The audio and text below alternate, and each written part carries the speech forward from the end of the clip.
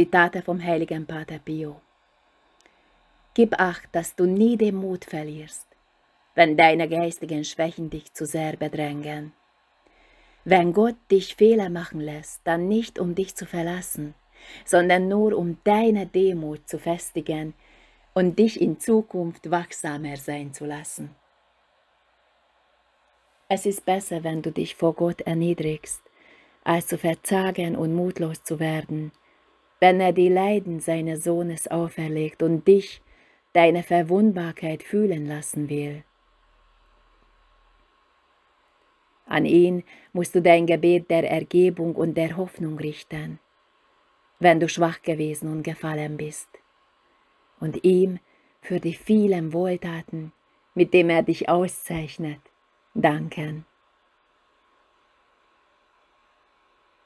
Heiliger Pater Pio, bitte für uns.